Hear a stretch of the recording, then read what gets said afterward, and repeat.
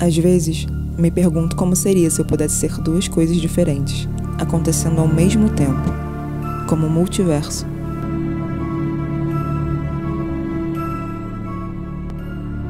Como seria se pudéssemos ser desde o início verdadeiramente sombrios, como nossa mente é, ou gentis, como nosso coração costuma ser?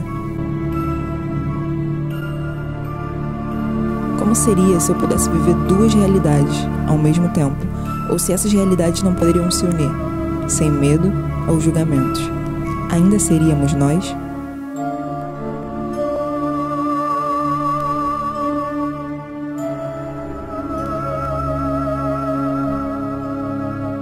Eu tinha duas opções quando conheci, e no fim, eu acho que, independente dos universos paralelos em que vivêssemos, em nossas vidas ou mentes, sempre teríamos o mesmo final, duas de mim, sempre a mesma.